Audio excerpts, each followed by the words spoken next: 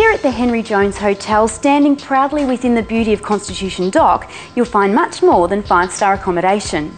And that's because the Henry Jones is an art hotel with well over 300 original pieces by some of Tasmania's leading artists. And yes, most of them are for sale. But first, let's learn a little bit more about the man himself. So, Warren, can you tell us a bit about the history of the Henry Jones Art Hotel? Well, it's a very rich history actually. We have a wonderful opportunity in this space to tell a story. Mm-hmm. It's quite unique. Um, from Hobart's original foundation, we see the whaling trade beginning here at this direct spot. But of course, everyone remembers IXL Jam, and it was yeah. Henry Jones who started working here at the age of 12, pasting the labels on tins, not just on weekends, 60 hours a week. Really? By the age of 27, it's his company. This jam factory would eventually become the largest in the world outside of Europe, and at its height, it was actually the largest privately owned company in the world. It was an icon right here in the waterfront of little old Hobart Town.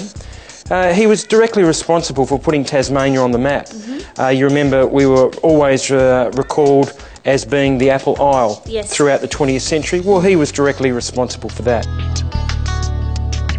All suites and rooms feature special lighting, a lavish king or queen size bed, European style stainless steel, and translucent glass bathrooms complemented by magnificent sandstone walls. Most have close harbour views, while others overlook the stunning glass atrium and reveal glimpses of the old jam factory interior.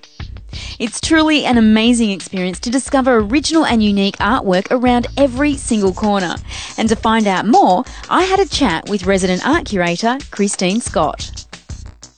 Peter, what we do here at the Henry Jones is quite special. We showcase works by Tasmanian artists, both emerging and established. So people get a lovely array of the art scene here by way of the artworks that we show throughout. It's quite special. We do show only Tasmanian art, and I think it's quite special what people are talking about here in the art scene. Tasmania has a wonderful environment for nurturing artists, and we're just really happy to be part of that. So, Andre, what can you expect here at Henry's Harbourside Restaurant? Well, um, I guess expect uh, a nice luxurious dining evening, uh, but also in a casual, sort of casual environment at the same time. And two styles of menus? Two styles of menus, uh, classics and evolution is what we like to call it. Uh, the classics being firm favourites within the hotel and the restaurant and what our guests like. The evolution side is the menu that gives us a chance to play in the kitchen, keep in with modern trends and use really nice special ingredients from Tasmania. This looks divine. What have we got here today? Um, right, starting with the entrees, we've got uh, slow cooked ocean trout with a dill sauce, beetroot salad, slow cooked uh, pork belly with soused leeks and fennel, white anchovy, and a bacon egg dust on the front.